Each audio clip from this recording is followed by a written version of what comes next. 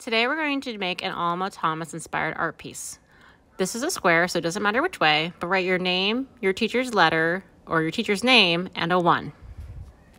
Go ahead and pause here and wait till everyone's done, and then we'll move on. All right, so on the front, you are going to make a shape, and you can go straight in with the paint. It can be any shape you want. Just remember that you're going to be um, going around it. So a circle might be kind of easier or a square. You could do a heart or a star. You can put the shape anywhere. It could be in the middle, it could be off to the side, and you will paint in the shape any color you want. The next thing I'm going to do is I can switch colors, use the same color, use a different brush, it does not matter, but we are going to make our dashed lines. So remember, wash your brush between colors and use your brush to activate the paint. You don't want the paint too watery, so later in the class when it gets really watery, you don't have to redip your brush. Like bricks, or like a dashed line, you're going to go around your shape very close, as close as you can. I like to turn my paper because then I can use the flat edge of my brush to actually make the rectangular shape of these brush strokes.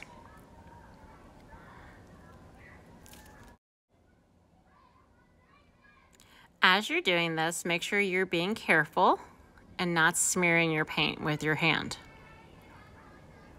Once you've done your first dashed line around your shape, you can change brushes, you can change colors, um, but your next row should be really close to the first row, like building bricks.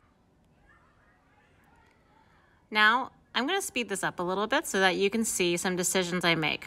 So the goal is to make this dash kind of line, big or small, building, but not touching or overlapping each other. And what direction it goes after a few of these what's called concentric or following the shape, you can decide what to do. You can also decide what colors you want to do. Um, I would keep each line one color just so it doesn't get too confusing. Um, but eventually I'm going to run out of space. All right, so now I have touched the edges. So now what I can do is I can make a decision. I still want to have the bricks going next to this row. I'm going to pretend like it goes off the page. So even though I can't see the point and I can't see the side of the heart, I'm going to continue that line.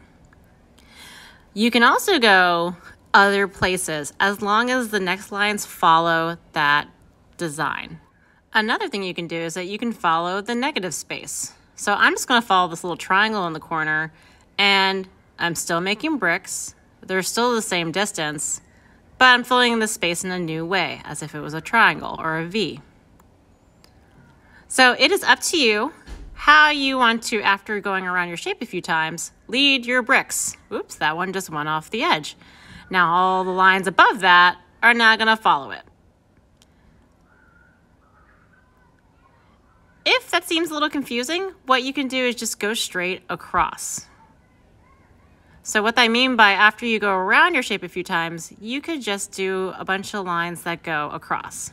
So this one goes across, this one goes across, and I'm changing brush strokes or brush sizes just for a little bit of variety. Your goal is to fill the whole paper and you probably will not finish today and that is okay.